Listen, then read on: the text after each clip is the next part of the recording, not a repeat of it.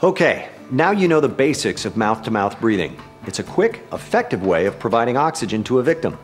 However, as mentioned previously, you and Sally are healthcare professionals.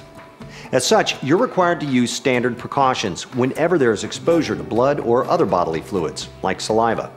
These precautions include using barrier devices, such as a face mask. A face mask usually has a one-way valve and diverts exhaled air away from the rescuer. There are different sizes for adults, children, and infants, so make sure you're using the appropriate size for a victim. The mask should only cover the victim's mouth and nose. It should not extend over the victim's eyes. Okay, here's your chance to try mouth to mask breathing. You should already be in position to practice.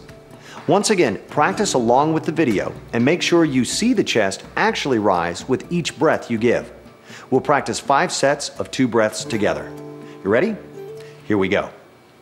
Kneeling next to the victim, place the mask on the victim's face, using the bridge of the nose as a guide for correct position.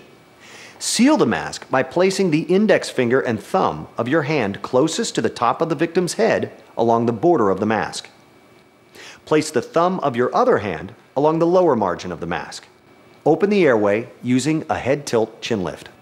Press the mask down and lift the jaw to hold the mask tightly against the face, and give two breaths while watching for chest rise.